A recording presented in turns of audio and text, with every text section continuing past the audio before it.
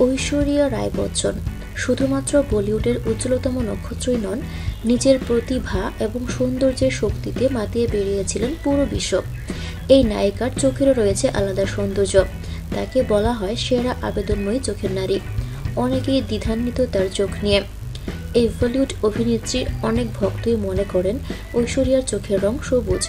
আবার অনেকেই মনে করেন সবুজ রং দেখা যায় মূলত কন্ট্রাক্ট লেন্সের কারণেই। কিন্তু আসলেই ঐশ্বরিয়ার চোখের রং সবুজ। যে কোনো অনুষ্ঠানে ঐশ্বরিয়ার সৌন্দর্য প্রকাশ পায় তার চোখেই।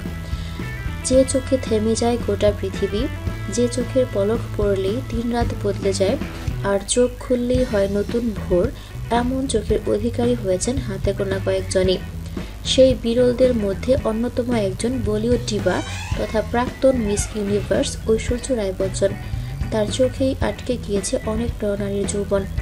চোখের পলক পড়া থেকে চোখের নানান অঙ্গভঙ্গি, চোখের ভাষা একবার নয় বহুবার সিনেপ্রেমীদের মন কেড়েছে। হিন্দিতে একটা প্রবাদ আছে, কাতিল আখে। ঐশ্বর্যের চোখ যেন সেই প্রবাদেরই প্রতিসম। এমন সুন্দর চোখ কাকে দান করেছেন ঐশ্বর্য রায় বচ্চন? জানেন? আই অ্যাসোসিয়েশন অফ ইন্ডিয়াকে নিজের চোখ চোরা দান করেছেন তিনি।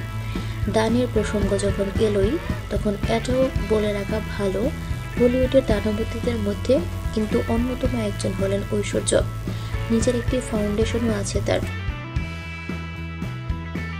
থ্যাংকস ফর ওয়াচিং ভিডিও ভিডিওটি ভালো লাগলে লাইক প্রেস করুন এবং শেয়ার করে সবাইকে দেখার সুযোগ দিন। পরবর্তী আপলোড পেতে চ্যানেলটি সাবস্ক্রাইব করে আমাদের সাথে থাকুন। ধন্যবাদ।